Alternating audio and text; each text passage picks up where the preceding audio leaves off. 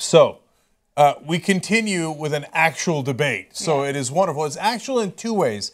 Uh, one is that they're, uh, now the Democrats are actually disagreeing about real policy issues and bringing out uh, differences between one another, unabashedly so. The other reason it's a real debate is because unlike the Republicans, they're actually stating policy positions. Yes. And having Some more than others. Right, and having a real discussion over it, whereas the Republicans are like, me make country good, you make bad, right? and I bomb more than you, right? That's We're not real policy. Here's this is a policy God discussion. Thinks. Yeah. Yeah. We're a good country. They're a bad country. We want to stay a good country, so we go after the bad country. Make country good again. Right.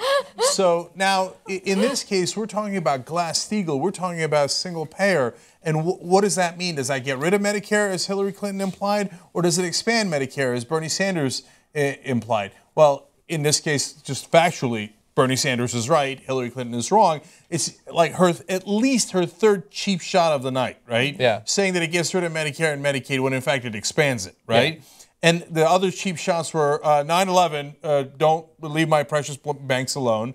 David Sirota had some great tweets about that uh, live during the debate. He pointed out that her top five donors are all banks, okay, and that when she got paid $200,000 as speech, at least twice from Goldman Sachs, she said that.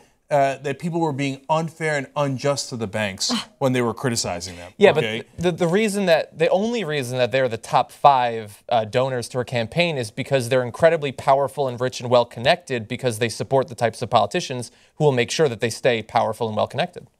That's exactly. Oh wait, right. that's right. And and the third cheap shot was when she said, "Oh, you know, sixty percent when cons- question about money in politics, she gets most of the money in politics, not just among the Democrats, but she gets uh, more than the Republicans do, right? And the big banks love and support her in that way. Top five donors, as we said. She said, "Oh, 60 percent of my donors are women." No, no, no. what does wait that have to do with anything? No, first of all, it has nothing to do with anything. Second of all, 60% of your small donors are women, right? But you it's not 60% of the money that comes into your campaign. The bulk of the money comes from the banks and other companies. The small amount comes from real men and women, and of those, 60% are women. So that's a misleading, cheap uh, political game to play. So she's been doing that all night. Look, at the same time, her style and her rhetoric have been strong. She's commanding the room. She's not backing down. She's charging forward. She's accusing the other candidates of doing things wrong. So stylistically, she's still in the hunt here in, in terms of Yeah. winning the debate uh, because we know all the policy, so we know she's not telling the truth about Medicare. But for the people sitting at home, they might be like, "Wow, she's kind of strong." I but like thankfully her. he responded immediately to it Yeah. and pointed Right. out what yeah, he's doing. uh, Right. exactly. Like she was so misleading on his stance on um, the Affordable Care Act. So I, I love that he stood up for himself. Yeah. So uh, look, I, I can't wait to see how they're going to spin this and what the real numbers are going to be. I mean, I think Bernie Sanders landed some incredible body blows here.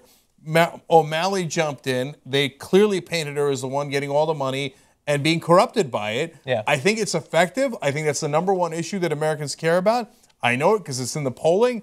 80% of Republicans, 83% of Democrats saying the money is corrupting politics. Point blank. Nothing Yeah. uh, uh, subtle about it. She's the one getting all the money. Now, will the mainstream media, who then gets it from her in the form of TV ads, turn around and say, Hillary clearly won the debate? Right. Likely. By the way, I want to do a quick comparison between this and the uh, Republican debate. Trump will talk about money in politics and how he's not receiving any campaign donations, but he doesn't plan on doing anything about money in Yeah. politics. Whereas in this uh, case, Bernie definitely wants to do something. He's, about he's it. also lying because 50% of the spending is from donations, just not to a super PAC. Right. He's still receiving donations.